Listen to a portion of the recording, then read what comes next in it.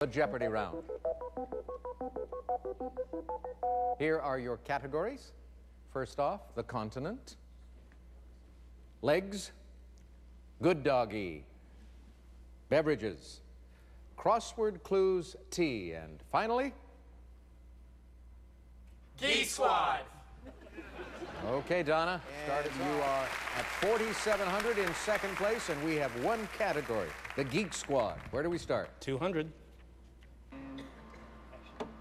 If you really want to pwn noobs, we'll connect this gaming system, which is the only one that uses Bluetooth and Blu-ray technologies.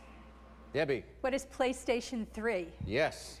Geek Squad for 400. An EV-DO card gives you anywhere broadband internet access via a cell phone provider that uses 3G technology. 3G stands for this. Donna. What's third generation? You got it. Six.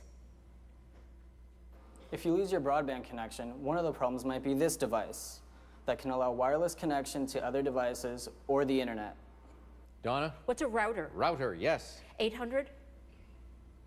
If your home can't be wired with Ethernet or use wireless devices, we can install this type of technology, allowing networking using your traditional electrical outlets.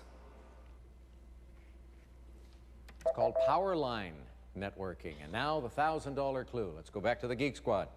Today, it's easy connecting devices by using USB.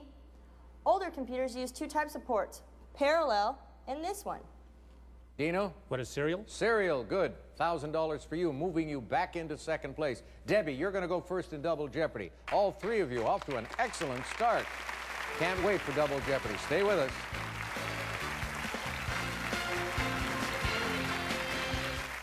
It's believed that the gaming term pwn originates from an accidental misspelling.